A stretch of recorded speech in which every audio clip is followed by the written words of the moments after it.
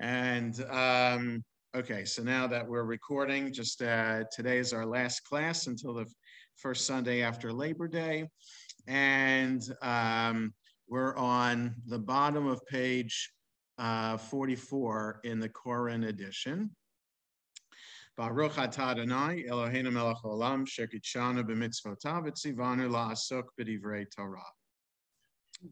So here uh, we're we're continuing the discussion from the Mishnah about these various Roman holidays and what they are. So the Mishnah teaches, and kratesis, uh, or uh, if we pronounce it the way the vowels are here, keratesis. So keratesis, and the day of the festival of their kings. The Gemara asks, what is the festival of keratesis? Rav Yehuda said that Shmuel said. It commemorates the day when Rome seized control of an empire. The Gemara asks, but isn't it taught in a Baraita two festivals are Karatesis and the day when Rome seized control of an empire?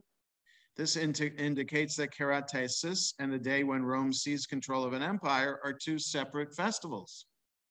So the conflicting ideas among the rabbis as to what keratesis is, um, which could make sense because, again, Babylonian rabbis are a little bit removed from the Roman Empire, living in the Persian Empire, and may have forgotten the tradition of a few generations before when rabbis were living under the Roman Empire in the land of Israel. So it's it could be understood why the tradition kind of uh, morphed and uh, was no longer clear.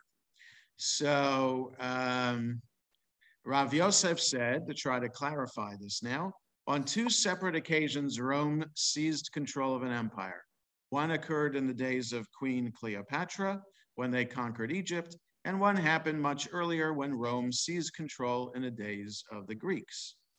So uh, in the days of Queen, Cle Queen Cleopatra, here, this is, so here, this is the Egyptian Queen Cleopatra VII, the last ruler of Egypt. The Gemara is apparently referring to the conquest of Egypt in a time of Augustus Caesar in 30, 31 CE, which began Rome's complete control over the Middle East. Now, they defeated the, the Greek Empire and took control of the land of Israel a hundred years before that. In well, not maybe not a hundred years, 60 years before that, in 63 or 66 BCE. Um, at that time, the Roman Senate declared this day, the 30th of August of the year 30, a holiday and proclaimed it the first day of the new calendar. The new festival was celebrated for several years to come, and every five years, the Romans would hold special events, which included worship of the emperor and lavish circus acts. Okay, so we do have records from the Roman Empire of what keratesis could have been. So, and the uh, the defeat of Egypt as a new day for the Roman Empire. So now, uh, and then the defeat of the Greek Empire is is another one. So now we're going to talk about that. The Gemara elaborates. As when Rav Dimi came from Eretz Israel, he said, the Romans waged 32 battles with the Greeks, but were unable to defeat them until they formed a partnership with the Jewish people and finally vanquished the Greeks. And this is the condition that they stipulated with the Jewish people. If the kings come from among us, the governors, hiparche, uh, the governors will come from among you. And if the kings come from among you, the governors will come from among us.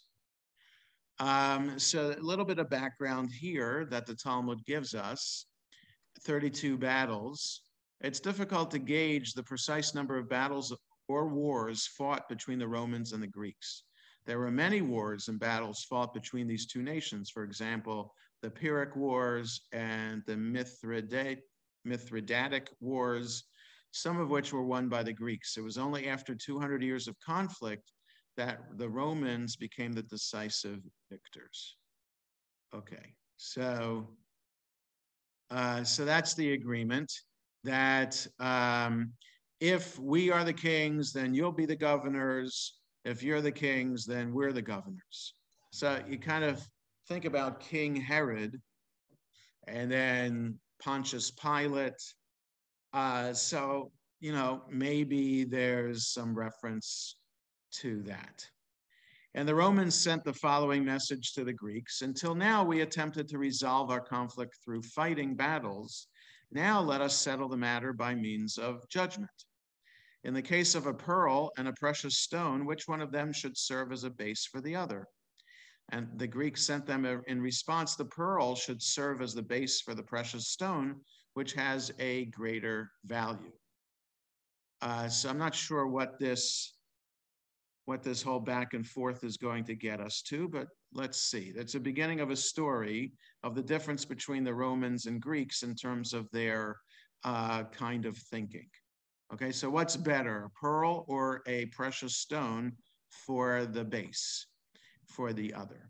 So the Greeks said pearl should serve as the base for the precious stone, which has a greater value. The Romans further inquired if there was a precious stone and an onyx, a particularly valuable precious stone, which one of them should serve as a base for the other? The Greeks answered, the Greeks answered, the precious stone should serve as the base for the onyx. Once again, the Romans asked, in the case of an onyx and a Torah scroll, which one of them should, should, be, should serve as a base for the other? The Greeks responded the onyx should serve as the base for the Torah scroll. The Romans sent this response to them. If that is so, then you should submit to us, as we have the Torah scroll with us, and the Jewish people are with us. The Romans are akin to the precious stone, and they are allied with the Jewish people who are akin to the onyx, and they possessed the Torah scroll. The Romans therefore forced the Greeks to surrender and took over their world dominance. For 26 years, the Romans stood faithfully with the Jewish people. From that point forward, they subjugated them. So this is a, so I've, I've, I have no idea what this midrash is. I've never come across this midrash before. Uh, but it's it's interesting that they're that the rabbis are claiming that the Romans and the Greeks were having this philosophical, philosophical discussion about the Jews uh, related to who should be um, the mightier people in the world. Should it be the Greeks or the Romans? And the Greeks said, well, we got the Jews on our side, so that makes us uh, uh, dominant in the world. So it's it just uh, interesting that the rabbis would come up with a midrash like this, that they would dare um, claim that they had that the Jews had any kind of of stake in this uh, political uh, discussion between the Greeks and the Romans. So the the Gemara asks, initially when the Romans acted faithfully, what verse did they interpret? And ultimately, when they subjugated the Jews, what verse did they interpret? Initially, they interpreted the verse where Esau said to Jacob upon their meeting, Let us take our journey and let us go, and I will go before you. In this verse, Esau equates himself to Jacob, prefiguring the initial Roman treatment of the Jews.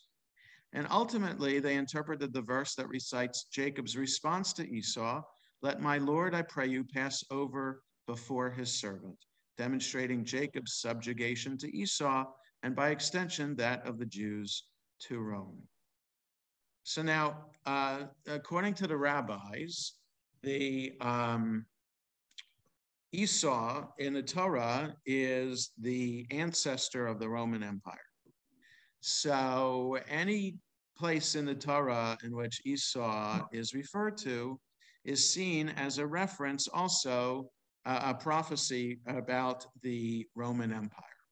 So, because of the relationship between Jacob and Esau, the rabbis see that as the, the basis in the Torah for the relationship between the Roman Empire and the Jews. And there, the rabbis do this in order to try to explain why situation in the world is the way it is for the Jews and claiming that the Torah, it, the, being the source of all knowledge, and God knowing best and setting up different uh, empires around the world, see the, the Torah as the basis, the rabbis see the Torah as the basis for understanding why things are the way they are in the world today.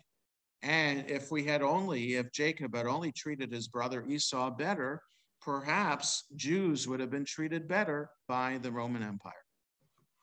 So that's that's the rabbi's way of understanding what's happening in their time, the destruction of the temple, uh, being oppressed by the Romans, uh, finding basis for that in the Torah with Jacob and Esau. Okay, and that's not the only thing that they do uh, with using the Torah as an as a basis for that, but that's a this is a, a clear example uh, of this. So the Gemara asks, with regard to the 26 years during which the Romans stood faithfully with the Jewish people, from where do we know that this was the case? Like, what's the basis? What's the proof text that there would be 26 years of good relations with the Romans? The Gemara cites a proof. As Rav Kahana says, when Rabbi Ishmael, son of Rabbi Yosei, fell ill, the sages sent the following message to him Our teacher, tell us two or three statements that you once told us in the name of your father Rabbi Yossi ben Chalafta, as we do not remember the statements precisely. Rabbi Ishmael, son of Rabbi Yossi, said to them, the following statements that were passed down to him, uh, said to them the following statements that were passed down to him by his father. 180 years before the second temple was destroyed, the evil Roman Empire stretched forth over Israel and ruled over them. 80 years before the temple was destroyed, the sages decreed impurity on the land of the nations and on glass vessels. 40 years before the temple was destroyed, the Sanhedrin was exiled from the chamber of, humans, of hewn stone and um, sat in the store near the Temple Mount. Just um, a little bit of background here. Um, just one second here, the store. Various sources indicate that there was a shopping area in the vicinity of the Temple Mount, perhaps located at the foot of its western side. The Sanhedrin moved there. the foot of the western side of the Temple Mount would be the foot of the western wall. And in fact, that is the case. if anybody's been to the Kotel, but not the Kotel itself, if you picture in your mind's eye on the right hand side of the Kotel Plaza area is this ramp that goes up to the Temple Mount. On the other side of that ramp is the archaeological area where the egalitarian Kotel is. If you are in that area where the egalitarian Kotel is, you are in an area where the western wall meets the southern wall. And at that place, if you are at the foot of the western wall, you'll see remnants of arches and all archaeologists, archaeologists agree that those are storefronts, that these would be places where uh, vendors would be selling things that people would need at the last second to get into the temple area. So there would be uh, people selling pigeons or turtle doves and things like that. So, yes, this area could be the area of stores that um, the Gemara here is talking about, and where the um, Sanhedrin might have met uh, in the last few years before the temple was destroyed. So, um, right, so according to Rabbi Yishmael, he's passing on these ideas. 180 years before the temple was destroyed, the Roman Empire stretched forth over Israel. 80 years before the temple was destroyed, the sages decreed impurity on the land of the nations and on glass vessels. 40 years before the temple was destroyed, the Sanhedrin was exiled from the chamber of hewn, hewn stone and sat in the store near the Temple Mount. Now, 30 years before the temple was destroyed is around the time of Jesus and the crucifixion of Jesus. So, just putting it out there in context here. So now, the Gemara asks, With regard to what halacha is it necessary to know where the Sanhedrin would convene? Rabbi Yitzchak Bar Avdimi said it's necessary in order to say that they no longer judged cases of fines. The Gemara asks, so let me just, there's an end there. Um, what's the end? Oh, this is referring to all cases where one is liable to pay more than an amount of the damage that he caused, or where Torah law fixes the amount that must be paid. It includes the liability of a thief to pay the double payment, the fourfold or fivefold payment of one who steals and sells a sheep or ox, and the 30 silver coins paid when one's ox gores a Canaanite slave. Only ordained judges may adjudicate these cases. Ordination can be performed only by an ordained judge, and ordination must take, must take place in Eretz Israel.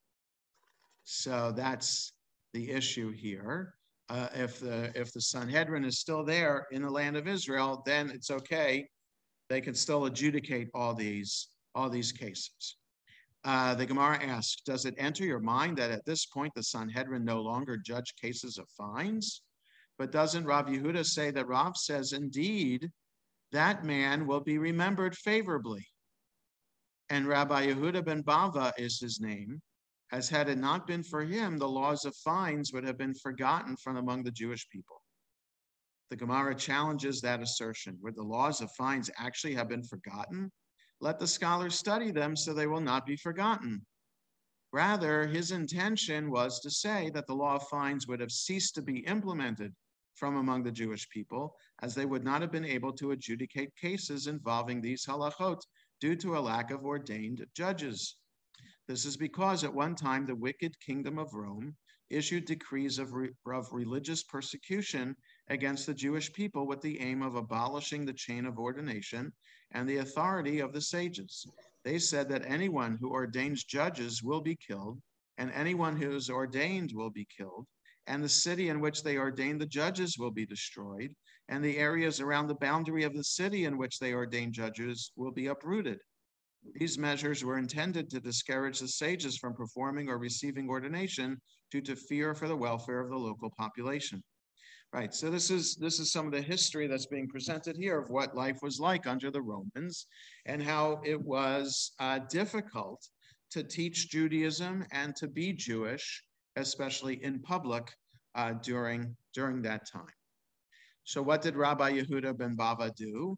he went and sat between the two between two large mountains and between between two large cities and between two Shabbat boundaries, between Usha and Shafar Am. And so there's uh, a map here of where Usha and Shafar Am are. And right here, this is around where Haifa is. And this is a little bit inland here in this in the Jezreel Valley today. Okay, so he's saying that um, that is in a desolate place was that was not associated with any particular city, said he would not endanger anyone not directly involved. And there he ordained five elders, namely Rabbi Meir and Rabbi Yehuda and Rabbi Shimon and Rabbi Yosei and Rabbi Elazar ben Shemua. And Rav Avia adds that Rabbi Nehemiah was also among those ordained.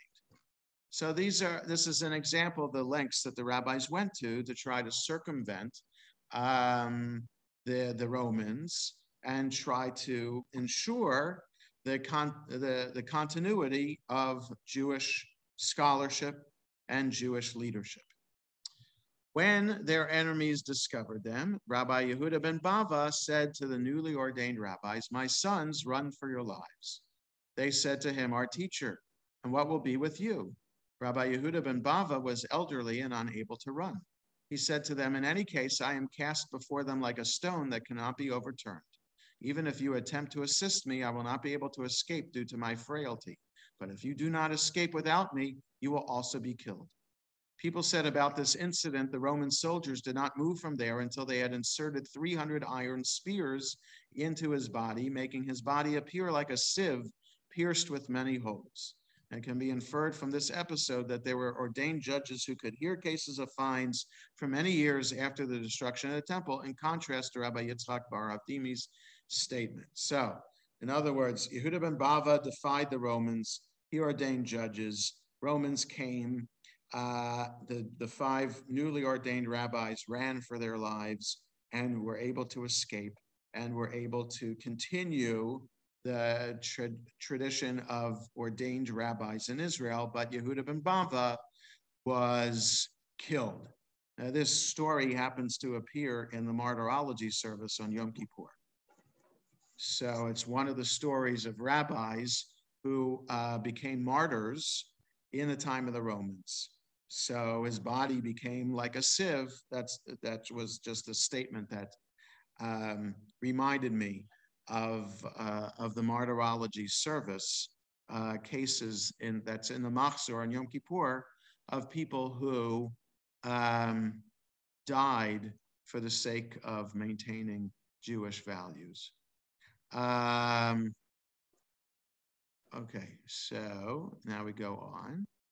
Rav Nachman Bar Yitzchak says in explanation, do not say that after the Sanhedrin was ex- exiled from the chamber of, of hewn stone, they no longer judge cases of fines. Rather, amend the statement to say that they no longer judge cases of capital law as a court does not have the authority to hear capital cases when the Sanhedrin is not sitting in the chamber of hewn stone.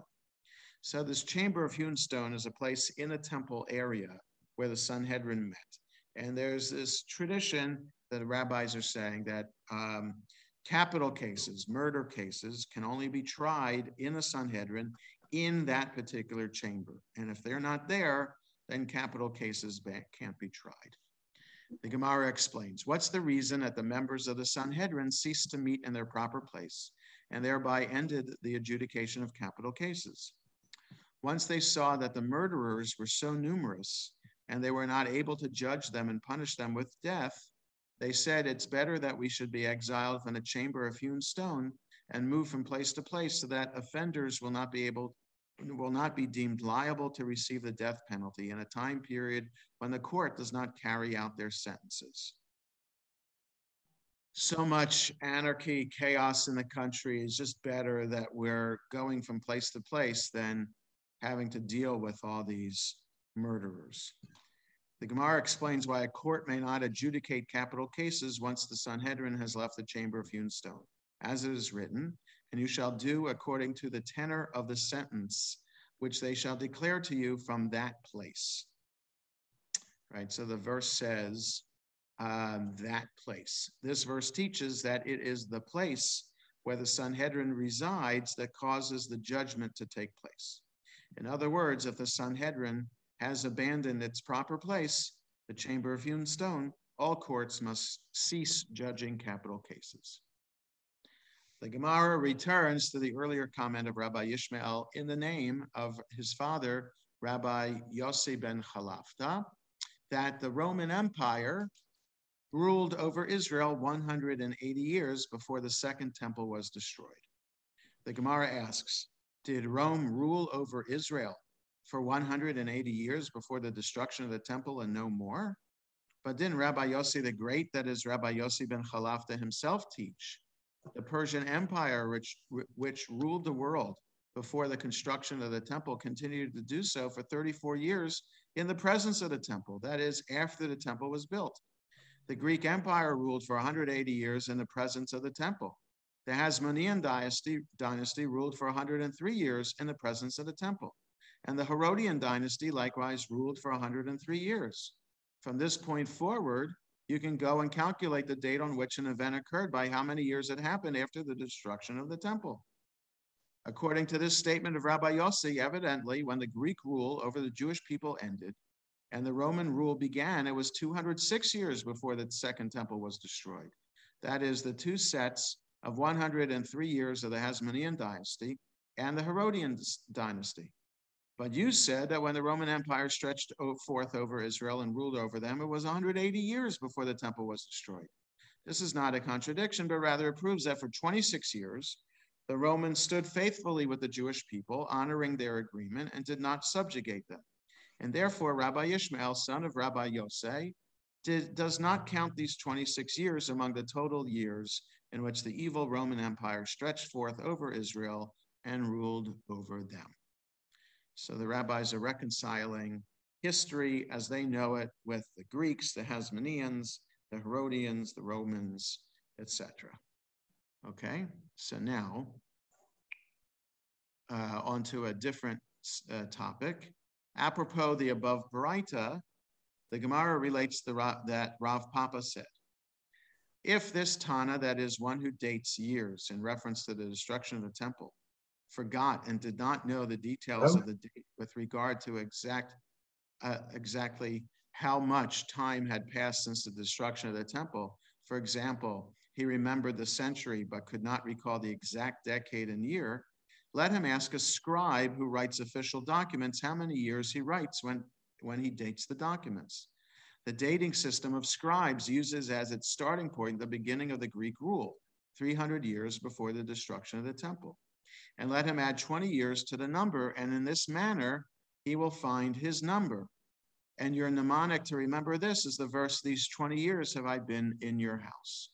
So here, understanding how we're dating things based on Roman versus Greek rule.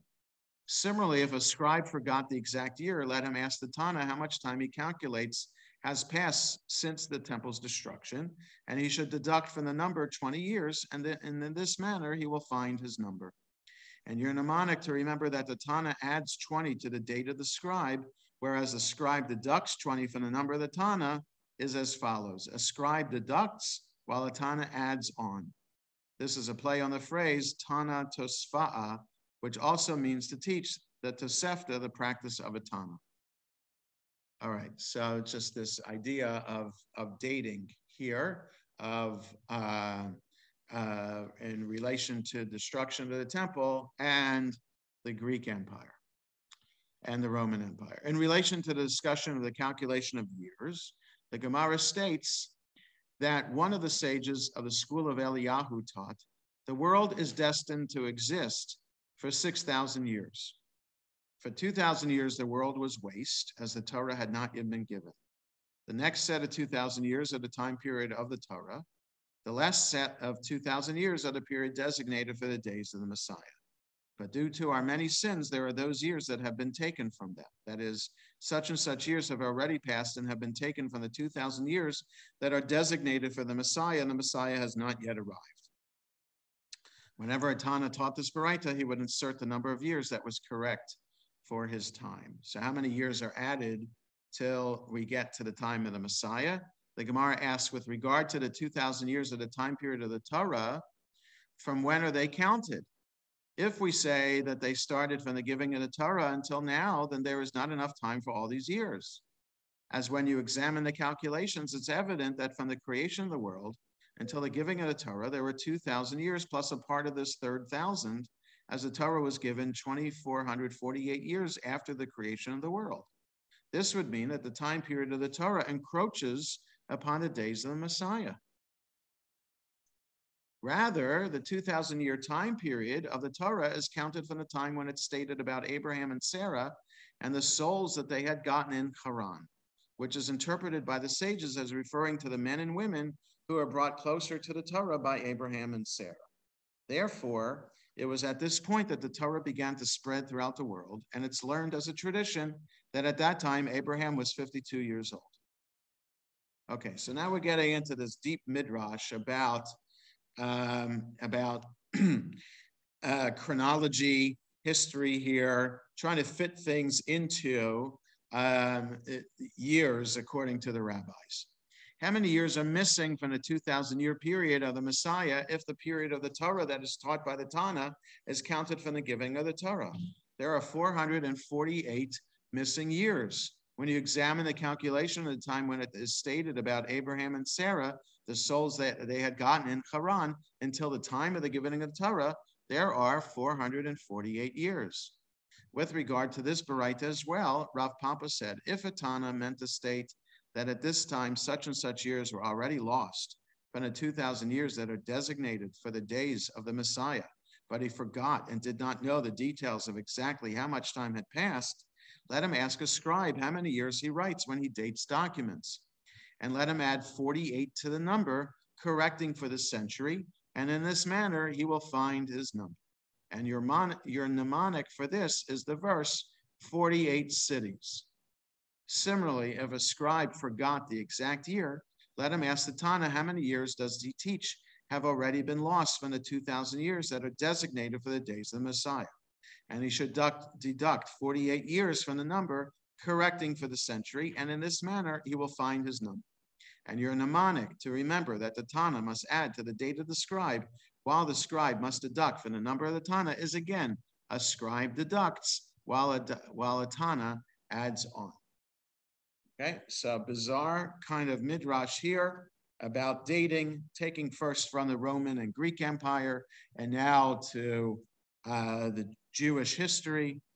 Um, so now, Rav Huna, son of Rabbi Rav Yehoshua, says, in the case of one who does not know which year of the seven-year sabbatical cycle he stands in, he should add one year to the years that have passed since the destruction of the temple in order to begin at the start of a sabbatical cycle. And he should calculate the general years, that is the centuries, as Jubilee cycles, as every Jubilee concludes seven completed sabbatical cycles of 49 years, and the details as, as sabbatical cycles, that is, he should divide the remaining years into seven year sabbatical cycles. But as the Jubilee year itself is counted as one year of a sabbatical cycle, he should take from every hundred years that pass two years and add it to the details, that is, the remaining decades and single years. And then he should calculate with the details by dividing them into sabbatical cycles.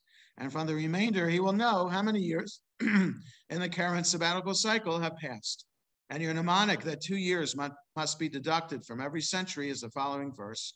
For these two years, the famine has been in the land.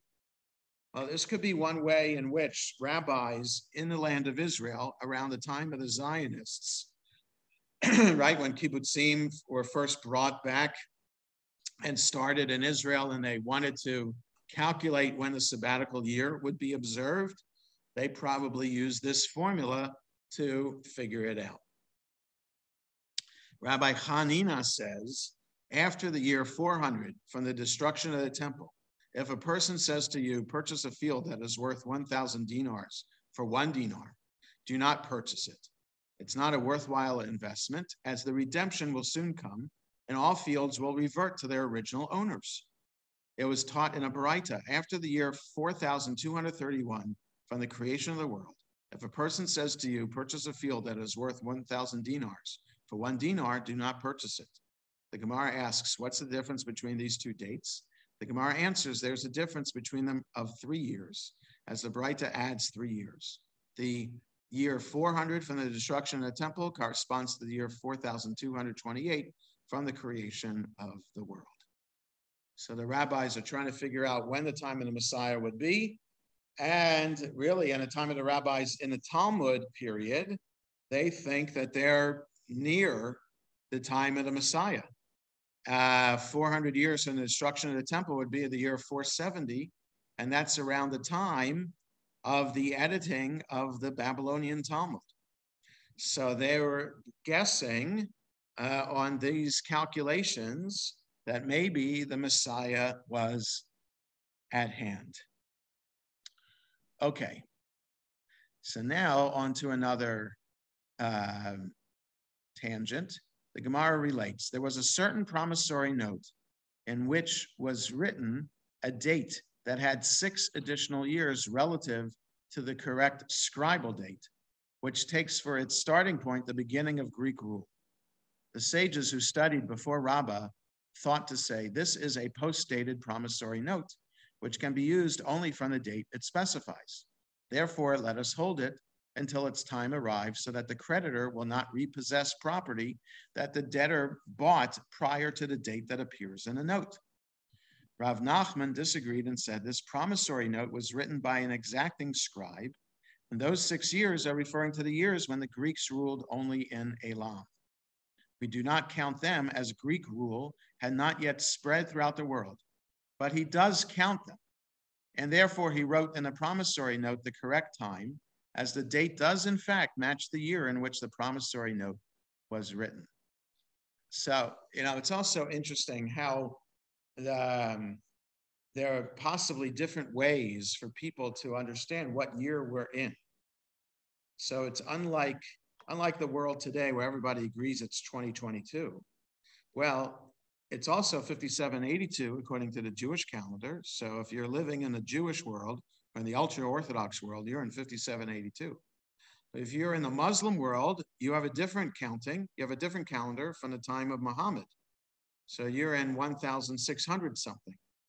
And if you're in the Chinese world, maybe the Chinese have their their counting system too. So, but it's it's more, um, it's least it. Well, uh, say it this way: most people in the world today have the common counting system. So when we write a ketubah today, uh, the ketubah has on it both the the English date right? So if we are if I was doing a wedding today, the ketubah would say uh, May uh, Sunday, the first day of the week, Sunday, May 21st, 2022, which corresponds to the 20th of ER 5782. So you have both dates there to be sure that everybody knows what the date is. So here we're talking about a time that maybe was uh, less agreed upon um, to know exactly what year we're in. And so that's that's what the uh, the rabbis are talking about here. Rav Nachman cites a proof for his resolution, as it is taught in a Baraita. The Rabbi Yossi says the Greeks ruled for six years in Elam alone, and afterward their dominion spread throughout the entire world. It is the later event that serves as the basis for the dating system used by most scribes. Um, okay, and here's background. Greeks ruled for six years in Elam. The dating of years, according to the Greek kings, is referring to the system used by the Seleucid kings. Their enumeration starts with the year in which Seleucus uh, the first, Nicator, declared himself the independent ruler of Elam, that is Babylonia, 3448 in the Hebrew calendar, or 312 BCE. Beforehand, Seleucus had ruled over Babylonia for five years until he was forced to flee. It was only after the failure of Antigonus Monophthalmus's attempt to unite and rule over all the lands conquered by Alexander the Great that Seleucus managed to return and reign over the province of Babylonia. In time, he managed to conquer Iran, Syria, and Asia Minor, rendering the Seleucid Empire the largest expansion ever of Greek rule. It's therefore possible that there was a different count starting from the year in which Seleucus first secured control over Babylonia rather than the year of his return. And here's a statue of him. Okay. We can go on a little bit more. Rav Acha Yaakov objects to Rav Nachman's answer. From where is it known that we count years according to the Greek rule and that this promissory note was dated according to a system that uses the Greek rule as a starting point and was written by an exacting scribe? Perhaps we count the years using the Exodus from Egypt as the starting point, which occurred 1,000 years before the start of the Greek rule. And in this case, the scribe left out the first thousand years from the time of the Exodus and held only to the last thousand years, omitting the thousands digit and writing merely the hundreds, tens, and single digits? And if so, this promissory note is post-dated. Rav Nachman said in response, the practice is that in the exile, we count years only according to the Greek kings. Upon hearing this reply, Rav Acha bar Yaakov thought, Rav Nachman is merely reflecting my legitimate questions with this answer. Afterward, he went out, examined the matter, and discovered that it was as Rav Nachman says as it is taught in the Baraita, in the exile, we count years only according to the Greek kings. Okay. Um, so uh, we're going to stop here for today because uh, a couple things I have to do before the, the next class starts. And um, so quite the tangent from discussing uh, doing business with uh, Gentiles to understanding um, yeah, Arnie, just one second. Uh, um, doing business with Gentiles to understanding how we how we count the years. Yes, Arnie. Uh, my only question is why would there why would they deviate from counting the calendar based on the Jewish calendar only? I mean, I, I like we do, we sort of know in both. Um, and for Right. Jewish So purposes, I count, think- like, you know, I think the idea is that um, we want our documents to be recognized not only in for the Jewish people, but also in non-Jewish courts. So we have to have dates on it that everyone will understand.